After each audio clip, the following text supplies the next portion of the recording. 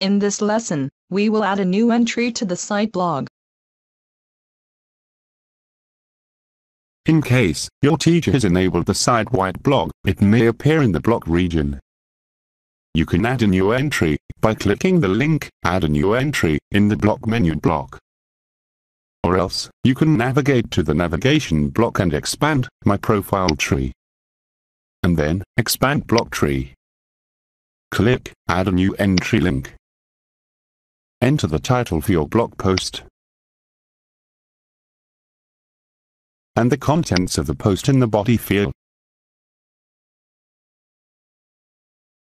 You can also save the post as draft by selecting Publish to drop-down menu to yourself.